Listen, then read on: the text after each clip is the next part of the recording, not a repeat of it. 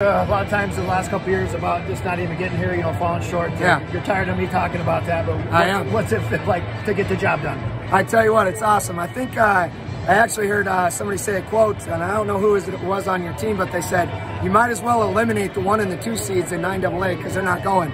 Well, we're standing here today as champs, so it feels pretty good. Talk about the game. Uh, a lot of big plays for you guys. You know, starting with, with the block punt. That just gave you guys a lot of momentum. Just a lot of big plays for you guys inside today. Absolutely, and from different guys. Um, multiple weapons on our team, and we knew it all along and had faith in our guys and, and just kept telling them to stay the course, brush your teeth, all those things we tell them. Um, but absolute team win because um, I think, you know, it would have been a hard job picking the awards today because I think we had multiple guys do great things. Yeah you know, a big X factor is Blair with, yeah. with the field position on the kicks, and then obviously making the field goals and the punts. How big yeah. was Blair in that aspect? Oh, huge. I don't even know what it was. Is it a 40 yarder? Yeah, 40 yards. 40 yarder in the dome from a 9AA school, and the kid hasn't had one college call him yet. I think he needs a look. How about that? Uh, that kid should be kicking somewhere. I know that. So proud of our special teams um, and Blair for his field goals. Absolutely awesome. Um, yeah, go Eagles.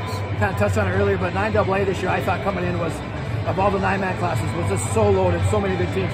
To, to win 9AA when it was, was a, such a good year with a lot of great teams, what's that mean, I guess? Yeah, you know, I guess you just, you feel like you're going out on top. Yeah. Um, but I, but like you said, I mean, it's just it's game by game, and, and every team that we played this year, props to them, because um, every all these kids are working hard, and that's what South Dakota sports is about. Yeah. It's for the kids, yeah. and and so I'm proud of our guys, but I'm also proud of Parkston for how hard they worked, and and for the teams before us we played, and just hats off to South Dakota, and proud to be a part of it. Last year, whenever you guys lost to Howard after the interview, I remember you said to me, "You will hear about the Wall Eagles." Is this what you had in mind? Yeah, yeah I think this is what we had in mind. So feels pretty darn good. A little surreal yet, but I'm sure it'll sink in soon. Anything else, Lex? Go Eagles. Awesome. I'll let you enjoy it. Thank you.